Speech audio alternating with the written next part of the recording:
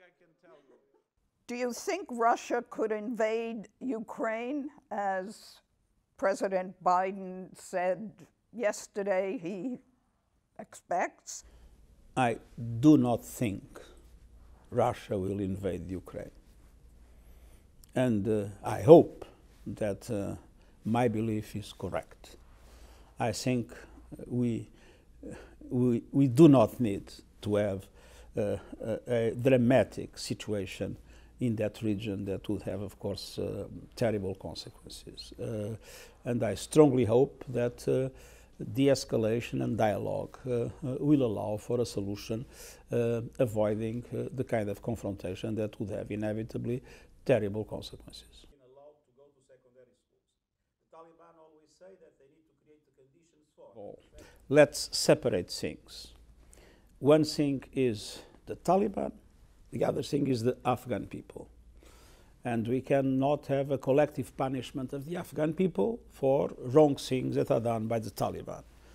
So it is absolutely essential in the present situation to massively increase humanitarian assistance to the Afghans because the Afghans are in a desperate situation with the risks of death by hunger, with the risks of death by disease, with the winter that you can imagine the winter in Afghanistan, uh, with the COVID.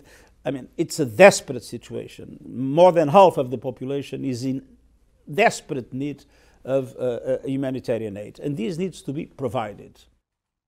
Any situation in the world where it is very important to have uh, information and that information to be uh, circulated.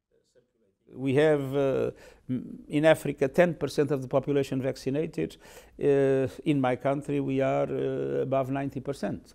I mean, uh, uh, the developed countries uh, have really hoarded vaccines and not allowed for an effective distribution to the poorest areas in the world, where the consequences are more devastating. It relates to the independence of the World Health Organization, but I always said that we need to strengthen the authority of the World Health Organization, namely in relation